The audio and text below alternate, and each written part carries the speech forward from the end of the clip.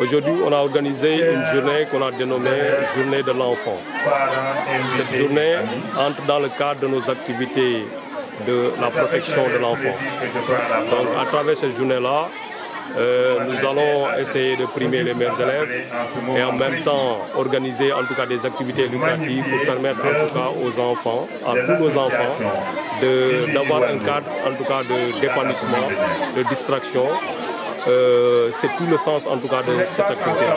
Une journée mise à profit pour primer justement les meilleurs élèves que vous avez regroupés justement, c'est les élèves de Niagis, de Difamor entre autres. Pouvez-vous revenir un peu sur ce qui a motivé cette initiative Voilà, donc euh, depuis quelques années, on travaille avec euh, ce qu'on appelle le réseau des écoles amis de, de l'enfant.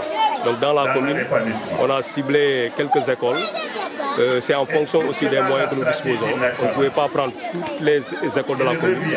On, on travaille dans ce cadre-là. Maintenant, dans ce cadre-là, c'est des écoles qui sont dans le réseau. C'est l'école de Fanda, Boutout, Djifangor, Son, Niagis et Boulom. Donc, euh, à cette occasion-là, euh, on a en tout cas invité au directeur d'école de nous nous envoyer le premier de chaque classe pour qu'on puisse en tout cas, euh, à travers les moyens que nous avons, primer, magnifier en tout cas le travail de ces enfants-là au courant de ces neuf mois.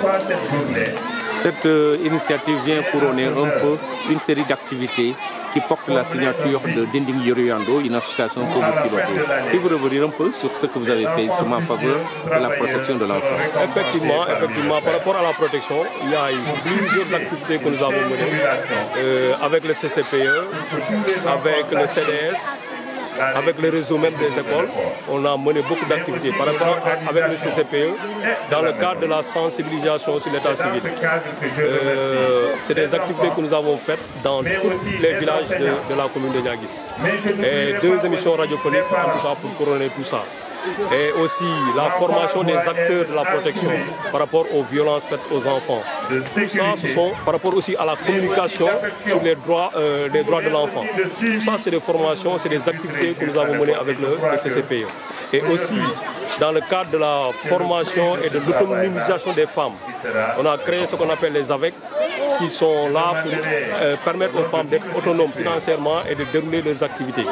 Donc euh, sur ce même, nous avons un alléchant programme de, d'eau potable avec Ocean qui va permettre en tout cas aux AVEC de Niagis et de Boutou de disposer de l'eau potable qui vont mettre à la commercialisation. Donc ça, ce sont des activités en tout cas qui sont tellement phares.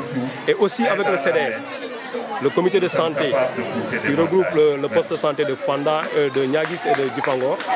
On a un plan d'action qu'on a mis en place et qu'on est en train de dérouler dans le cadre de sensibilisation et tout ça.